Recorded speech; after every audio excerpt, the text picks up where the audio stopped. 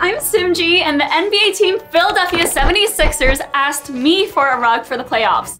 So what they want is a three foot rug of their playoff logo. It looks good. It's actually bigger than three feet, but you know.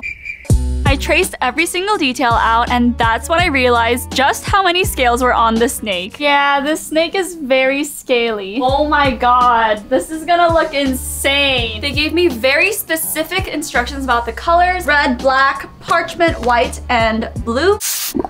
I'm gonna start with all the red details first and lettering kind of makes me nervous so we'll just see what happens. This was done months ago and it no longer makes me nervous but my worry was that the writing on the rug would look slightly different from the font on the logo. Okay, I'm done with all the red. We won't know 100% what it's gonna look like until I fill up everything in between. So until then, let's move on to the blue. It was time to outline everything and give it some structure before filling it in and of course, it's time for pizza. Good morning. So it's the next day. I finished the outline and I did the six as well. And I know you don't see any scales right now. That's because I was done tufting at 4 a.m. last night. I was super tired, but I got my sleep and we are ready to go. I just want to say that these scales were no joke and this was very, very sped up for you all. It's the next morning again. The scales did take a really long time. They're just not filled in yet, so it just looks like a blue snake. I'm really excited to fill in the white. I'm really excited to see the snake come to life. I began my final journey with these scales, and honestly, this was possibly the most difficult design I had ever done. Okay, let's go look. Whoa. Kind of looks like a fish. This took like six hours just to fill in these scales. We still need to fix the yarn and everything, but it's looking so good. Oh my gosh, and the lettering, it's gonna look so cool once I'm done filling the rest in. And the head, we gotta do the snake head. You don't even know me like that. Are you pressed for time? Put you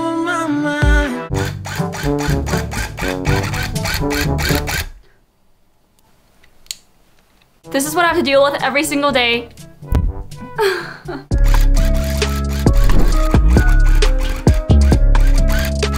Okay, so I'm done with everything but the outline and I can't believe I'm almost done with this rug and that in a few days, I'm gonna be shipping this out to the 76ers. Like that's crazy. I still can't believe it. It's almost done. Did I already say that?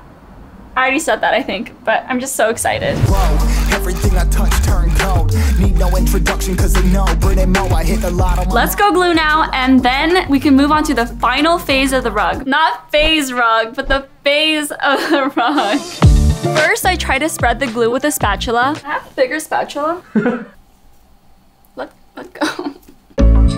It seems to be working. It, it wasn't working. Okay, so the spatula wasn't doing the best, so I'm actually really liking the spoon technique. These days, I just lay down the canvas and pour the glue on, but the spoon technique works just fine. Okay, so it's finally fully dried. I'm gonna cut it off the frame and then go back it outside.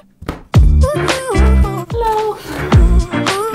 I prepare the non-slip backing and then head outside to glue it on. Finally backed it and the final step is to get it binded. I have an appointment to get it professionally done, so let's go. The studio was an hour and a half away by train, so this was a serious mission. And if you see words that are not in English, it's because I'm in South Korea right now. When I arrived at the studio, I ended up doing way more than just binding. I carved the details so they're cleaner, which took me six hours there, and even continued carving back at home. I finished up by shaving and adjusting all the yarn into place, cleaned up, and after 30 hours of hard work, I am finally done. An honor to make this for you, and I hope you like it.